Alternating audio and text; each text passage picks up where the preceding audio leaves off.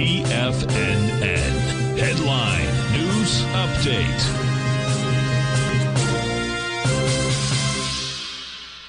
Hi, everyone. Basil Chapman on the uh, 11th day of September. And our thoughts, of course, to those people that involved in 9 11, the sadness, the tragedy.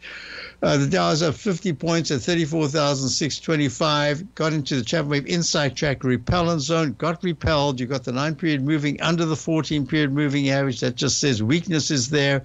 We're watching this weekly chart to see on Friday what happens. Where does it close? I haven't yet got even a sell signal on the on the Dow uh, weekly, but definitely a sell mode in, in the daily chart. Same thing in the S&P. Look, the S&P uh, traded up nicely today, 44.90. Now it's trading at 44.70, up 14. Uh, kind of struggling, but that nine period moving average did flip positive.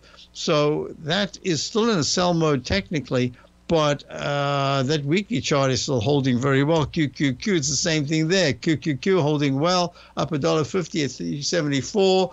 Uh, got repelled at that, uh, moving that downtrend line, the Chapman Wave inside track repellent zone that we've got a falling axe formation in the weekly chart, but it hasn't been able to break above it. So the technicals are still very strong there, but they're weaker, weaker in the daily. The IWM, the Russell 2000, struggling away, up 94 cents and 184, glued to the 200 period moving average. Gold, talking about glue, gold trying its best to move up, and now it's come back from the high of the day of 1954. It's at 1944 right now. It should be moving much higher because of the dollar, but in fact, it's the trends. The tide for gold still remains down. The tide for the dollar, even though it's down 40, uh, 62 ticks at 104.47, having a bit of a digestive phase, the tide is still up, and you're looking at the TLT, and that's bonds.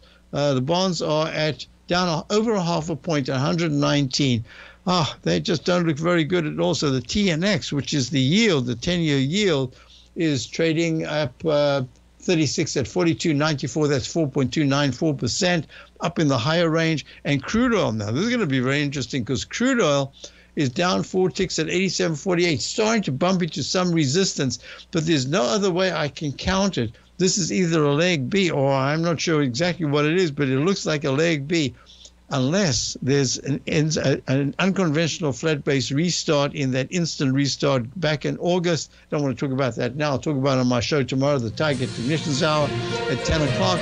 So as as we stand right now, Dow's up 46. If by by the end, by after two o'clock, if after two o'clock the Dow's up 65 points or more, that's quite good. If it's negative, not good at all. Have a wonderful rest of the day. Check out my open call, my daily newsletter. See you tomorrow.